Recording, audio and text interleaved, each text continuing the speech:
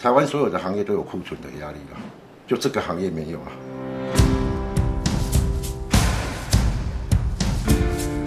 杰瑞小客车租赁有限公司，我们是成立在二零零四年。那在福特的部分，我们已经成立了一个九台车子规模的一个车队。旅行家这一台让我们的感觉就是说，第一个成本低，维修便宜；第三个油耗又省。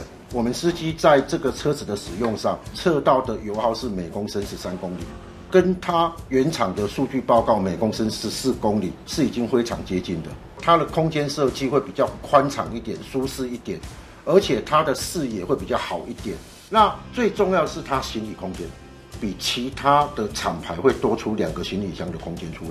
早期九人坐这种箱型车选择的品牌不多，旅行社的部分它变成说它都会指定，啊，我就是要这一台福特旅行家，所以它是一台在我们营业车系里面是一台会赚钱的车。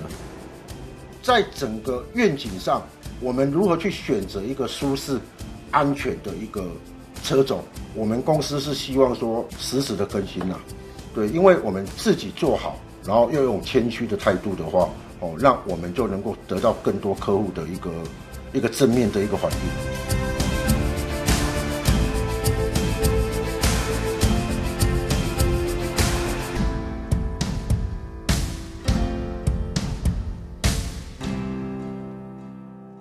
Ford.